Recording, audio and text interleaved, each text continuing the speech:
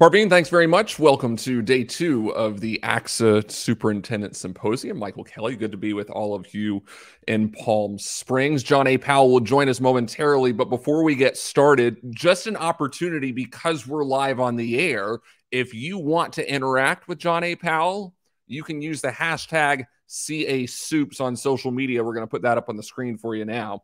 Uh, submit all your questions, all your comments for John, and we'll try to make sure that our team behind the scenes is able to get to them uh, at the end of this broadcast. Uh, now, let's welcome in a man who needs no introduction.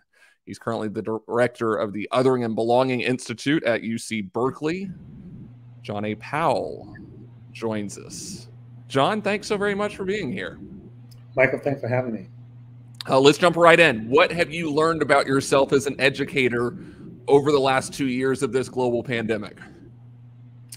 Well, I think one thing is, um, you know, I feel like I'm fairly flexible. You know, we've had to have a fairly a large staff, and as you said, work at UC Berkeley, um, teaching, um, interacting with the students. I also found that I'm, I'm not in love with Zoom. I'm, I'm, appreciative of uh, the technology, uh, but I do miss the interaction with people which is not completely surprising, but I'm an introvert. So it's it was surprising how how much I miss the students' day-to-day contact and um, and people generally. Um, so those are some of the things I learned. That's why we like StreamYard better. It's a it's a little bit more of a personal interaction than Zoom.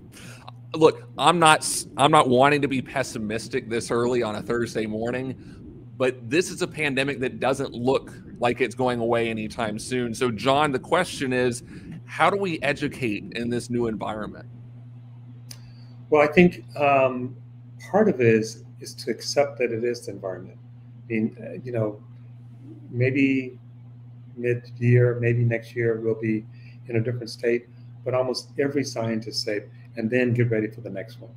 Um, so part of the thing that I think we have to adjust to is that, as they say, this is the new normal. It's unfolding.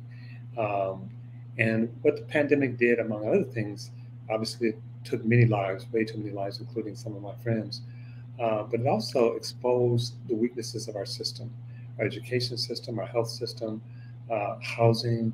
Um, we're saying stay six feet apart. We have people living um, in farmhouses, uh, you know, um, uh, who couldn't live six feet apart. Uh, so I think it exposed a lot of things. Unfortunately, I don't think we really learned from that. Uh, you know, it's, it's, time to be prepared. It's time to sort of uh, really come together. Um, so I think the work, the life is a little, it's kind of precarious. I was talking to a friend and he was saying the first time he felt that in the United States was 9/11. You know, this sort of shock that we were vulnerable, if you will, in, in the rest of the world. And we tried very hard to sort of get back to some kind of pre-normal state. Uh, but the pandemic suggests that um, we are in the world, we're part of the world. What happens in uh, India or South Africa or Brazil is going to affect the United States. Um, I don't think we've incorporated that learning, uh, but I think the pandemic is trying to teach us that you and I were talking earlier this week about the importance of education in a functioning society. You brought up Thomas Jefferson, who said every citizen deserves a good education. So, are we making sure that every citizen is well educated? Are we making sure our students are well educated, John? No, we're not. Uh, not even close, Michael. And, and we've lost the way. I mean, uh, you know, go back to um, the Greeks, and they understood the importance of education. Thomas Jefferson uh, you know, complicated person, but also someone who deeply understood that if you're going to have a democracy, you need people who are educated to be citizens. And one of the part of that education, from his perspective, was the ability to take another person's perspective. Uh, so it wasn't just about me. It's can I listen to someone, even if they're different than me. And in the country right now, it's deeply, deeply polarized. Uh, we've turned education into political football, uh, sort of advance a, a particular political agenda. Uh, will will ill, serve the students. We already had a problem with the unevenness inequities in education, where have some schools who have resources, some don't. Um, uh, some have experienced teachers, uh, some have small classrooms, some have classrooms that are busting at the seams. Uh, some schools are cl- clearly just warehousing students. Uh, they're not doing much in the way of teaching, and some are doing incredible jobs.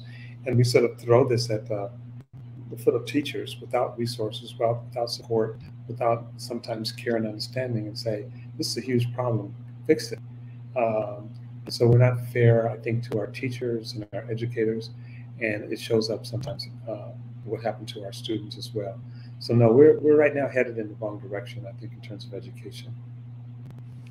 So the follow-up to that is how do we head in the right direction? Well, you know, it's interesting to me. I like I said, I teach at Berkeley and and um, you know, I've taught at some of the quote unquote elite schools like Harvard. And one of the things has always been, you know, the issue of like even SATs, you know, standardized tests and how we use them. Uh, and uh, the um, I'm, I'm, associated with people who started those tests uh, 50 years ago, and they will say the tests are being misused, and they were used in, in many ways to screen people out instead of diagnosing the problem. Um, and in the middle of the pandemic, a lot of the schools said we're going to stop making these tests mandatory. Whereas before they said can't do it. So it's clear that there was some continues to be some experimentation, um, and it has to be something that really is for everyone. It's not just for an individual student. Uh, when I was growing up, we still thought of education as a public good uh, instead of as a private right, and of course, it's both. Um, but we really have to think about educating our entire society. Um, there's a book called "Between the Race Between Technology," I think technology and education, and it talks about how the United States became a powerhouse economy at the beginning of the 20th century. And one of the reasons these two economists say this happened is the United States was the first major com- country to begin to seriously educate women and girls. Uh, didn't do it right, it didn't do it completely fairly, uh, but it started doing it. Uh, and women represent more than half the population. Today, more than half the population are people of color in the United States and for uh, uh, 10 years old and younger. Uh, so our school, our kids coming into school are the future of America. And it's not just whites, not just blacks, not just it's everybody. Can we really think about how we're educating everybody, both for themselves and for the country and for the world? Um, we're gonna they're gonna grow up in a world very different than the one uh, that you and I grew up in, Michael. And um, there's all this stuff about jobs being replaced by uh, robots and uh, artificial intelligence and um, uh, you know so how do we prepare people to be part of that future um, both technically but even more important socially how do we prepare people to live in a world that the diversity is becoming more and more intimate where we see people every day who maybe look different than us who maybe uh, worship different than us who love different than us, uh, and still for that to be okay. That's part of what education is calling for. It's calling for something for the whole society and to sort of reknit our social cohesion. You said something that struck me when we first spoke. You said education in schools has become ground zero in our political fights. Can you expand upon that, John? Sure, and it breaks my heart. I have a granddaughter. You know, it's funny. I have two children, and they're, in their forties, and so you know, I felt like I dodged a bullet. Both graduated and are doing relatively well, uh, and so I could exhale. Not that I was indifferent to what's happening in schools, but I no longer had um, children directly in school, and now I've got a granddaughter. So it's like it's coming back full circle. Um, but just think about the, the mass wars. Think about the vaccine wars. Think about uh, what we teach. You know, uh, can you teach uh, that country enslaved people? Um, can you teach critical, not just critical race theory, critical thinking? Um, and all of these fights, and it's clear that um, some political operatives are saying, let's take over the school board, not because they're necessarily educators, not because they want to make sure students are well prepared for the future, so they can use education as a whooping board, uh, so they can push their political agenda uh, which oftentimes is that of fracturing the country even more.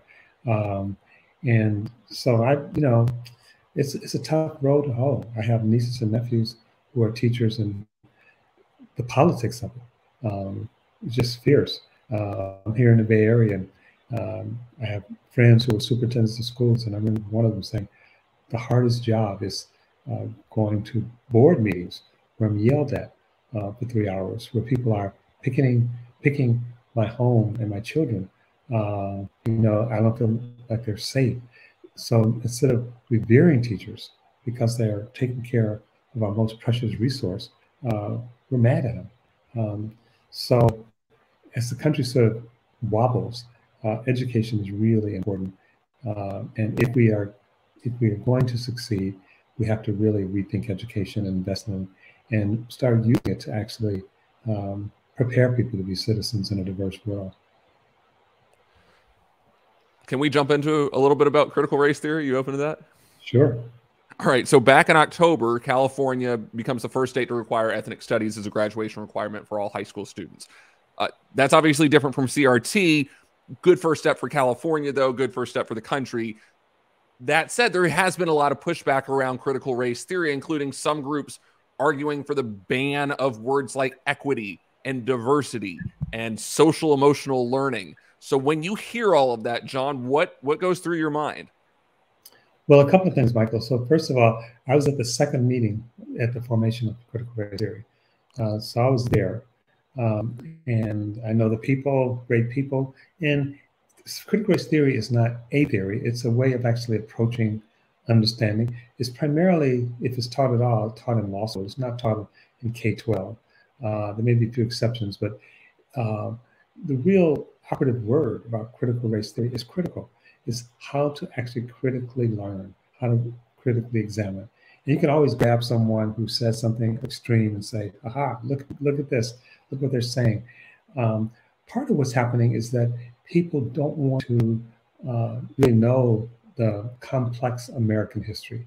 Um, the country enslaved people. Thomas Jefferson, the great uh, president who wrote the Declaration of Independence, uh, had 200 slaves. That's the reality. Uh, and it's an unfortunate reality, but it's a reality. And if we're going to have a future where everyone counts, everyone, Black people, white people, uh, Latinos, Asians, Native Americans, straight, gay, uh, Christians, Muslims, uh, if we're going to have a country where we pull together, we have to not only learn about each other, we have to learn about our history. It was up until the 1960s. You couldn't it was difficult to immigrate to this country if you were Asian. The first immigration laws of the country said it was only available to uh, free whites. So if you're black, if you're Latino, if you're Asian, you could not become a naturalized citizen. That's our history. And what critical race theory basically says, which is interesting, Michael, because some people think it's teaching racism. Uh, and it's not. It's actually, or I should say, it's thinking about racism differently. It's saying race, racialization and racism is a system. It's not simply individuals. So we're not going around pointing fingers saying this person is racist, this person is racist. That may or may not be true. What it's really saying is that the way our laws have functioned, the way society has structured, uh, is profoundly racialized. Now, I teach law. I teach I teach at UC Law School. Um, read Plessy versus Ferguson. Read Dred Scott. Um, read uh, you know Loving. Uh, the Supreme Court talked about white supremacy as being part of our history. It is part of our history. Until 1967, there were almost 20 states in the country that prohibited interracial marriage. This was written in law. Nothing subtle about it. No interpretation. They were saying anti-miscegenation. Uh, and the, the, loving family uh, had to, were, the husband was put in jail and had to leave the state because he was white and his wife was black. So, um, you know, I think if people were saying you got some of the facts wrong or you're not inclusive, uh, that would be one thing. But to say not to teach about our history, and it's, it's not Black people's history. We're coming up on February, and I always wince a little bit because I say uh, Black history is American history. It should be taught not one month out of the year, it should be taught 13 months out of the year. It, it's about who we are. Uh, and not just who black people are, who, who the country is and what we're struggling with now. You can't understand uh, the fight around um, voting without understanding uh, the history of uh, subjugating blacks to vote after passing the 15th Amendment. So, uh, and really, the right decided to make critical race theory a, a, an issue to actually instill fear and resentment in white people directed toward people of color. It was deliberately a plot. It wasn't an effort to get to the bottom of it. It wasn't an effort to really understand it. Um, and, uh, uh, you know, and it wasn't about their teaching hate. Uh, it was really about how do we scare white people and use that as a political football to advance our position um, in the upcoming elections. And it's working. You are one of the nation's leading voices on structural racism, and you gave a speech almost six years ago talking about a racially diver- uh, divided America. So, six years later, John, what's your assessment of where we're at? Uh, Michael, sometimes I feel like uh, Cassandra, who's in Greek myth, who's a um, she was given the, the ability to see the future by the gods, uh, but she was also um, cursed because no one would believe her. and she eventually went crazy, had no intentions of going crazy. Uh, but, That's good. you know, um, researchers are like weather people. You know, weather people have instruments to sort of see what's happening and sort of predict it's going to be, it's, it's looking sunny right now, but prepare for rain, or the, the ocean is clean right now, but prepare for a tsunami. Um, and so we see these trends that are happening. And the, the uh, resentment and polarization that's happening in the country uh, is really tearing us. And the, by some accounts, social anthropologists and biological anthropologists will say the oldest emotions in humans are, is fear. And so if you're playing on people's fear, you're playing to a big audience, you're playing to something that's deeply embedded in us. Uh, and we haven't really learned uh, to, how to actually connect. That's something teaching should do. That's something that bringing people together uh, can do. I mean, if you look at where we've actually had relative success in bringing people of different races, ethnicities, religion together, it's actually been the military. Um, a lot of people don't like me to say that because, you know, say, well, we don't want to glorify the military. It has its problems like every institution, but it has really worked at bringing people together. And think about this. You take an 18 year old white kid from rural Georgia, 18 uh, year old black kid from Chicago, 18 uh, year old Latino kid from South LA, you put them in um, a place together and give them guns. It sounds like we're going to have a tragic event. But instead, you have oftentimes lifelong friendships. Um, so it takes leadership, and there are some leaders working. Uh, I was really pleased after, unfortunately, after George Floyd was murdered, to see the leadership come forward in the country, uh, both from government, both, uh, but also from the business community, also from the religious community. So we can do this, although we're headed in the wrong direction. Uh, there's a recent study out, um, Tom Edsall wrote about this in the New York Times, showing the United States is more polarized than almost actually than any other major democracy in the world. And he worries that we're going to a place where it's going to be very hard to get back. And we're still playing with some people using this strategically to win elections. Um, so I think we have to really step up and, and step up big time, or we actually could actually lose uh, not just an election, but lose our country what role has the pandemic played in your mind in structural racism, John? Well, again, um, the pandemic exposed, you know, it's, it's interesting, Michael, because uh, for a while people don't talk about so much anymore. People talked about being colorblind, not seeing race. I teach, among other things, the mind science, so I know a little bit how the unconscious works. And I'll say, you know, the conscious may or may not be interested in color or race. The unconscious is obsessed with it. Uh, and it's also interesting. Unconscious is not simply something that happens just between our ears. The unconscious is reflecting structures. That's how we teach the unconscious by the unconscious is reading structures and habits. The unconscious is deeply habituated. And so we see uh, on television and media uh, a person doing certain things, the unconscious actually experiences that as real. So in terms of structures in the pandemic, Uh, what the pandemic did was expose these structures. Uh, so, for example, healthcare system, uh, you know, that, that is radically different depending on where you live, depending on who you are, and depending on what your race is. I live in uh, the, the, low Berkeley Hills. Uh, we have essentially 100% uh, vaccination uh, in my zip code. It's one of the highest in the country. It's also upper middle class. It's also majority white. It's also highly educated.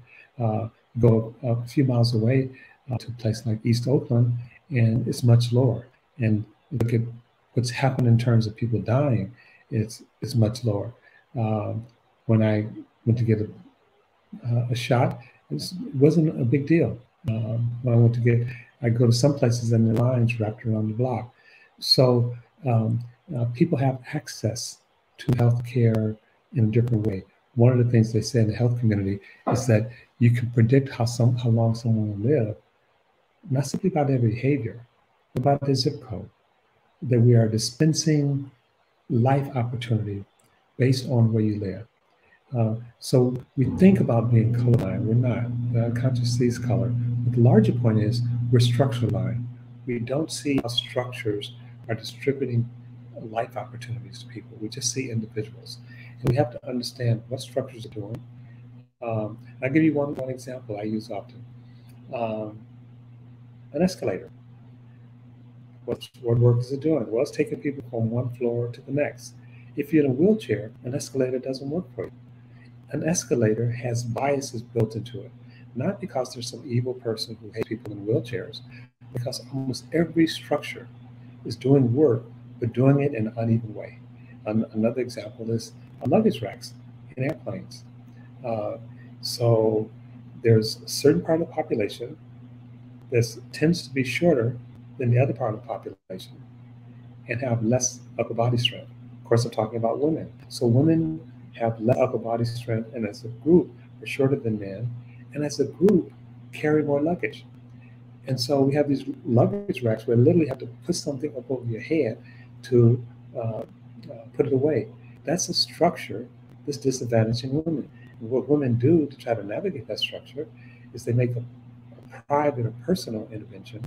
They check their luggage, which means 45 minutes earlier, you have to get to the airport and you have to stay 45 minutes late, and hopefully your luggage won't get lost.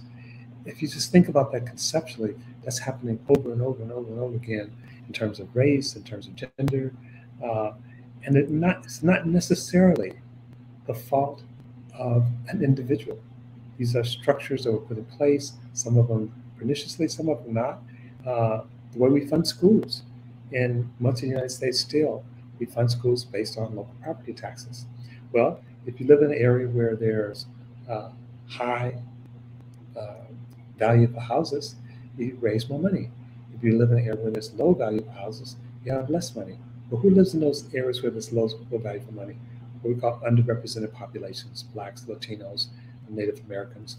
So they're the money they have, they have bigger needs and fewer resources because of the way we've structured uh, funding education. And there's just thousands of examples like that once we look at it let's switch gears a little bit here, John. We are seeing superintendent burnout across the country right now at a rate that is um, quite honestly pretty scary. And, and so, in this climate where superintendents are being asked to do so many things and they are stretched so thin, what is your advice for them as they're navigating these waters? Uh, well, you know, Michael, it's interesting. A few years before the pandemic, I was asked to come. I do work with schools, and I was asked to come in and help with students who were experiencing post-traumatic stress and trauma. And I was halfway through uh, the work. It was for 18 months or something. I was probably nine months in. And the teachers came to me and they said, "This is great. You know, we love that you're doing this for the students, but what about us? We are experiencing burnout and trauma as well." And no one's paying attention to us. And you can even take that one step further and say the administrators, including superintendents, are also experiencing stress and trauma. And we don't have a, for the most part, we don't have a deliberate way of engaging that. First of all, we sometimes there's almost shame, uh, and uh, even if we acknowledge it, for example, people oftentimes promote self-care. I'm one who's skeptical of self-care. I believe we have to care for each other. Uh, yes, we have some agency and responsibility, and we should certainly exercise that. Uh, but um, that old African saying, it takes a village to raise a child. It takes a village for any of us to really be healthy. Uh, and that's one of the things, again, that the pandemic shows is that the isolation itself, there was one period where more people in Japan had died from isolation than died from the COVID. Um, and, you know, being a superintendent, I've never been one, but I have been head of organizations like I am now, can be isolating. That in and of itself, you can't necessarily talk to your staff in the same way. Uh, you know, people see you as quote unquote the head or the boss, and you have that responsibility. Uh, but you're also somewhat isolated. Uh, and as I say, that's where the buck stops. And so everything that's not going well uh, is put at the foot of the superintendent. And so I think we really have to actually figure out, uh, not just in terms of isolation, how to help superintendents collectively. How do we get behind them? Uh, other superintendents, uh, parents, uh, political. Instead, they become the, the, the, epicenter of these political fights. Um, and you know everything that's happening bad in our society sort of gets focused on one or two places like our schools. Um, and without adequate resources, without adequate understanding, um, we just go after them. And you know, fortunately, unfortunately, many of them have other options, and so it's not surprising that they say, you know, enough of this. Um, and lose as superintendents, and then as our principals and teachers. Um, Michael, I've been on a number of calls. I sometimes start off my call by saying, "How do we get in this handbasket?" Did anyone notice it says destination hell? Uh, so I feel like that's how we treat our superintendents. They're, they're like you know, in a handbasket going to hell. Uh, I, I, have family around the world, including in uh, parts of Asia, uh, uh, Taiwan, and I can tell you, in many different parts of the world, the way they think about teachers and administrators is so different. They're, they're revered, they're loved, uh, and this in our society is just the opposite. You talk about isolation and it makes me think of just how critical conferences like this are right? Where you're able to break out of the isolation you're able to network you're able to see colleagues who you haven't seen in a very long time. Also makes me think of of you know obviously uh, ACSA right? ACSA's work becomes all the more important to fix the burnout and and to help superintendents um, find ways out of that isolation which is much easier said than done, John, but um, obviously something that needs to be addressed. You, you talk about just the reverence that is shown to other educators around the world. How do we get there uh, in America's education system where we see that same level of respect? Well, you know, it was interesting. Uh, at the beginning of the pandemic, there are all these videos out, and and, uh, and including parents being extremely appreciative of teachers. It's like, uh, okay, you're with my kid six, seven hours a day. Now it falls falling on me. There's one of them where a, a, parent is saying, "You said my kid was wonderful and well behaved. You lied. you know, this is hard work. you know, I want to go back. I want to go back to the office and not be here." Uh, and so there was that moment when people appreciated just how much teachers were doing, uh, the parents taking the burden off the parents, not just teaching students, you know, how to read and history, and but teaching them social skills uh, and, and, investing in them. Um, and so uh, it was that window where people where that's appreciation. I think we have to be much more deliberative with that. Um, you know, and I think frankly, part of it is how we pay teachers. Uh, we have to pay them a decent salary. Uh, so they don't have to worry. My sister recently retired. She was a special ed teacher. Uh, she didn't have much money. She was in Detroit. Uh, uh you know, uh, always struggling financially, even though she was working full time, and taking some of the little money she had and buying supplies because she couldn't get supplies from the school. so part of it's investing financially, but more than that, it's also, I think, education and, and telling the story. Uh, you know, look at a lot of the super rich. I'm, I'm, not advocating this, but a lot of the super rich turn around at some point and give money back, usually to their college. Um, I think it should be more than that. But they're saying, I wouldn't be where I am today without educators standing behind me. Almost all of us have someone in our memory when we were a kid, in addition to our parents and family, who believed in us, uh, who helped shape us. Uh, unfortunately, some people don't have that. So I think telling that story, getting it out, um, I would actually maybe involve some students. Um, uh, but I think if we continue to push teachers away, if we continue to push superintendents away, what's going to happen to our children? What's going to happen to our society? Um, so I would really take this seriously, and I would try to depoliticize it. I would try to depolarize it, uh, and and realize that we're educating again. That education is a public good as well as a private good, and the priest of education are our teachers, principals, and superintendents. I think positivity is something that's hard to come by these days. Uh, you know, we're we're nearly two years into this pandemic, and so um, let Michael. me close with this, John. What what gives you hope? Uh, well, one thing I mean, you said we're nearly two years. We're actually more than two years. We're going to yeah, that's true. but uh, time time so, is just yeah, we're we're kind of at that point now. It seems. So I get that question a fair amount. I, I uh, UC Berkeley just did a thing where they interviewed a number of professors, myself included, about that question: what gives us hope?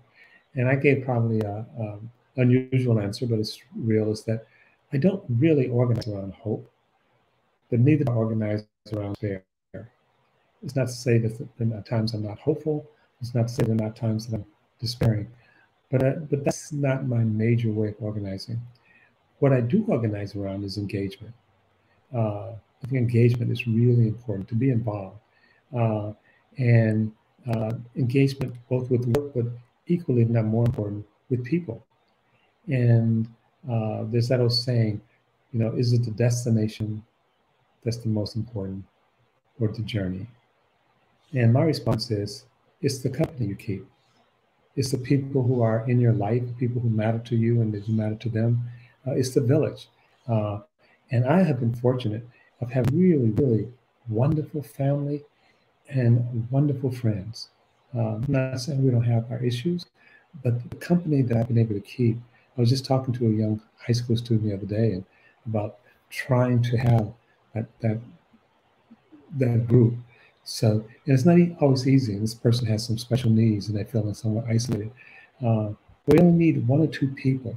So I feel like if we can really learn to turn toward each other instead of turn on each other, uh, if we can lift up uh, that we have more in common than different, if we lift up the antidote for uh, fear is hope and love. And I know that may sound mushy or whatever, uh, but I think we have to learn to care about each other.